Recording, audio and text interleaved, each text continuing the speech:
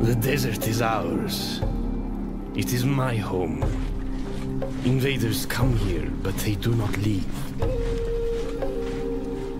They do not understand the desert. They do not understand how it gives life, or how it kills. So they die, and we grow stronger. The dead, now, the dead, cannot pass on their newfound wisdom. So invaders keep coming, keep trying to take our lands and our wealth. But then wealth flows through this land. And if our people have one failing, it is the love of wealth. It is sweeter than water. It is more powerful than the sword.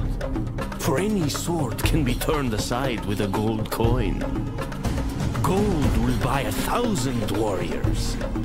And a thousand warriors, why, they are the start of an empire.